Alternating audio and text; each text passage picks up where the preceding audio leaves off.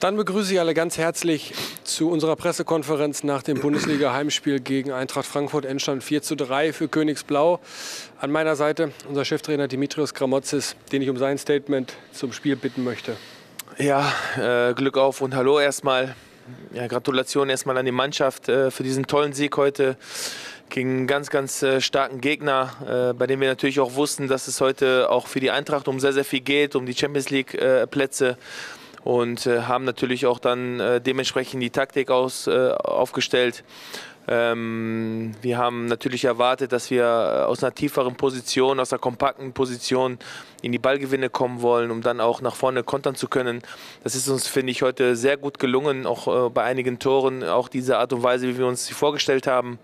Und äh, deshalb sind wir natürlich sehr, sehr froh, dass das auch äh, mit vier Toren heute mal ausgegangen sind. Dieses Gefühl hatten wir schon lange nicht mehr. Und auch diesen Gefühl, dieses Gefühl auch des Sieges. Äh, ja, leider haben ja äh, die, die drei Gegentore natürlich schon wehgetan, aber letztendlich haben die Jungs wirklich alles reingehauen, um diesen Sieg dann auch letztendlich über die, über die Bühne zu kriegen. Und äh, Gratulation an die Spieler nochmal. Und ich freue mich auch, dass wir auch unser letztes Heimspiel dieser Saison gewinnen konnten. Und den widmen wir natürlich auch unseren Fans zu Hause, weil man kann sich natürlich vorstellen, was hier heute los gewesen wäre, wenn wir vier Tore hier zu Hause vor unseren Fans geschossen hätten. Und äh, deshalb hoffe ich, dass es auch so schnell wie möglich der Fall sein wird, damit wir zusammen solche Siege auch in Zukunft äh, feiern können. Dankeschön. Danke, Dimi. Und dann bitte ich um Ihre, eure Fragen, wie immer per Handzeichen.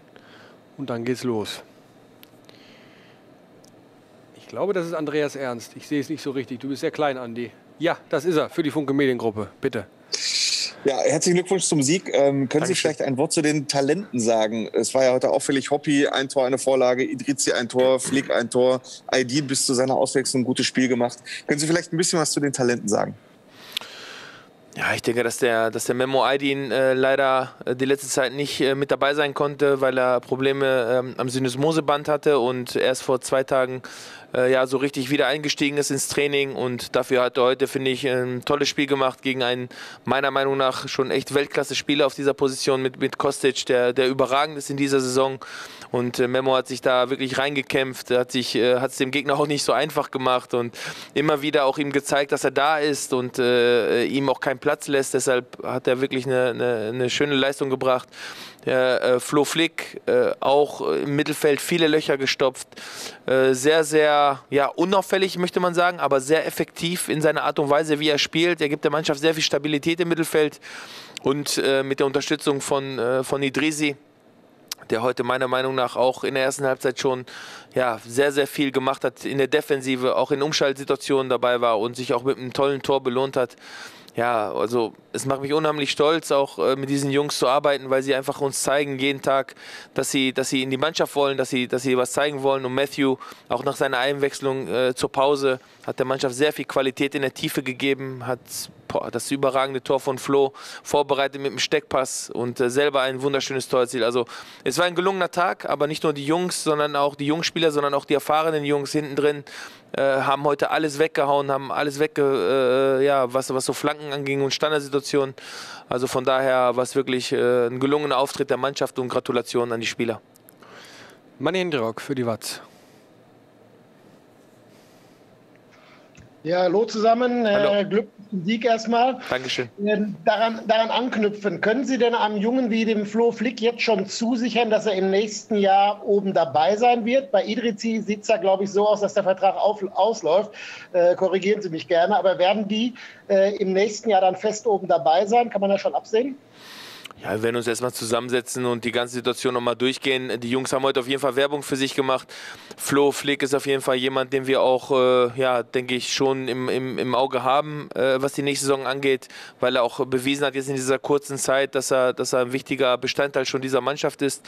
Äh, äh ich hoffe aber nur, und das ist jetzt auch wichtig, dass diese Spieler jetzt nicht irgendwie denken, dass sie jetzt heute ein Tor erzielt haben und dass sie jetzt zurücklehnen können, sondern sie müssen jetzt noch, noch härter arbeiten als zuvor und äh, die Einstellung stimmt und äh, wir wissen auch, dass wir in der knappen Schmiede, die man jetzt auch U23, U19 wirklich tolle Jungs haben, die auch interessant sind, auch für die nächste Saison.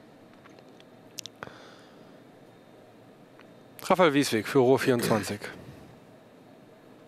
Hallo, Herr Gramotzes, auch von Hallo. meiner Seite auch nochmal Glückwunsch zum Sieg. Dankeschön. Können Sie uns ein Update geben zu den Spielern, die verletzt ausgewechselt werden mussten?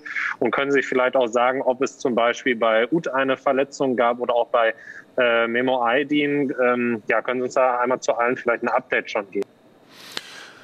Ja, bei Marc Gut haben wir zur Pause schon gewechselt. Es war aber ein taktischer Wechsel, äh, weil wir einfach auch das Gefühl hatten, dass wir gegen Ende der ersten Halbzeit schon unsere Umschaltaktion nicht mehr in die Tiefe bekommen haben und äh, ja, wir mit Klaas und Marc Uth zwei Spieler vorne hatten, die eher zum Ball gekommen sind, anstatt in die Tiefe zu laufen und Frankfurt hat es dann geschafft, auch immer wieder ins Gegenpressing reinzukommen. Mit Matthew wollten wir nochmal eine Schnelligkeit äh, reinbringen, damit wir dann auch noch so gut, eine gute Mischung zwischen ja, äh, Umschalten in den Fuß oder auch in die Tiefe und das hat der, finde ich, auch gut gemacht, der Matthew in der zweiten Halbzeit. Äh, bei Memo Aydin war es einfach, er hat, war dann kaputt, weil er erst auch seit zwei Tagen so richtig wieder im Training ist nach seiner Syndesmose-Verletzung. Und äh, da hat man einfach gemerkt, dass ihm dann die Power äh, äh gefehlt hat. Und bei Klaas müssen wir einfach schauen, da hat die Wade Probleme ge gemacht. Ich kann jetzt keine Prognose abgeben oder, oder was der Stand ist. Da müssen die Ärzte mal drauf gucken, um dann auch eine, eine genaue Diagnose auch dann äh, rauszugeben.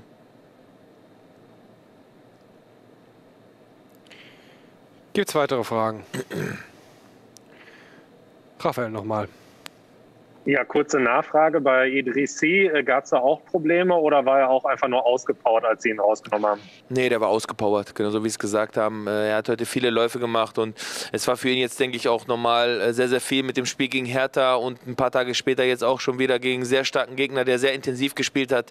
Es ist nochmal ein anderes Spieltempo als in der U23 und dennoch sind die Jungs fit. Das muss man wirklich auch Kompliment an die, an die Knappenschmiede, dass sie diese Spiele auch sehr gut guten Niveau äh, gebracht hat. Und äh, ja, das, das gibt uns natürlich viel Qualität. Manni Hendriok. Die fahren jetzt, soweit ich das weiß, wieder ins Quarantänetrainingslager zurück. Ähm, werden Sie die, die, Jungs jetzt die ganze Woche da beschäftigen? Wird jeden Tag trainiert? Gibt es irgendwann mal einen freien Tag? Ich meine, mit dem freien Tag kann man nicht so arg zu viel anfangen da in der Zeit. Aber äh, wie gehen Sie diese lange Woche jetzt an bis zum letzten Spiel? Ja, wir werden heute Abend auf jeden Fall nochmal regenerieren äh, und morgen wird dann frei sein. Äh, wir werden dann äh, Montag und Dienstag trainieren. Äh, Dienstag nochmal als Hauptbelastungstag, Mittwoch nochmal einen Break machen und dann Donnerstag und Freitag trainieren, damit wir dann uns gut auf das Spiel gegen Köln vorbereiten. So ist eigentlich äh, der, der Trainingsablauf geplant. Raphael Wiesweg. Ja, Herr Gramotzes, noch mal eine Nachfrage auch zu den Torhütern äh, heute. Ralf Herrmann sah leider bei dem ersten Gegentor nicht so gut aus. Hatten Sie überlegt, Frederik Renault ins Tor zu stellen, der jetzt aber gar nicht äh, im Kader stand und also noch nicht mal auf der Bank saß? Ja, wir hatten eigentlich vorgestern, äh, also wir hatten vor, heute den Freddy anfangen zu lassen, äh, weil auch äh, ja, Ralle auf uns zugekommen ist und wir auch zusammen mit der medizinischen Abteilung gemerkt haben, dass er sich sehr, sehr müde fühlt äh, und auch äh, das Knie ihm so ein bisschen Probleme macht, seitdem er, äh, seit dem letzten Winter, seitdem er da Probleme hat. Und wir wollten eigentlich heute Freddy spielen lassen. Er hat sich leider gestern durch einen kleinen Zusammenprall äh, im Abschlusstraining verletzt und dadurch konnte er heute auch nicht im Kader sein und deshalb hat der Ralle dann wieder im Tor gestanden und äh, normalerweise wollten wir dem Ralle heute äh, eine Pause geben. Gibt es weitere Fragen? Eine andere schreibt, aber scheint so, als ob wir... Nee, Raphael hat noch eine. Bitte. Ja, dann äh, komme ich auch noch. Herr Gramotzes, haben Sie auch jetzt vielleicht mal schon nach dem Abschluss sich bei dem Gedanken ertappt gefühlt, dass dieser Sieg vor allem Ihnen und Ihrer Position jetzt äh, sehr entscheidend doch nochmal zum Saisonende äh, hilft für den Übergang? Er tappte sich immer schön an. Äh, ja, ich bin glücklich über den Sieg. Also nochmal, äh, ich genieße es auch heute, weil vier Tore äh, zu Hause gegen, gegen Champions League äh, ist, glaube ich, auch nicht selbstverständlich. Und ich bin heute wirklich stolz auf die Mannschaft, äh, weil sie heute alles rausgehauen hat. Wir haben wirklich ja, alle Körner, die wir hatten, auf den Platz gelassen und das macht mich äh, stolz. Und über alles andere habe ich überhaupt nicht nachgedacht.